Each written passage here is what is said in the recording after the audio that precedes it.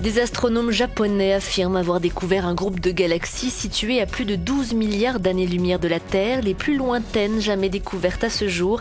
L'utilisation d'un télescope très puissant à Hawaï a permis aux scientifiques d'établir la date de naissance de ces galaxies, soit un milliard d'années après la création de l'univers.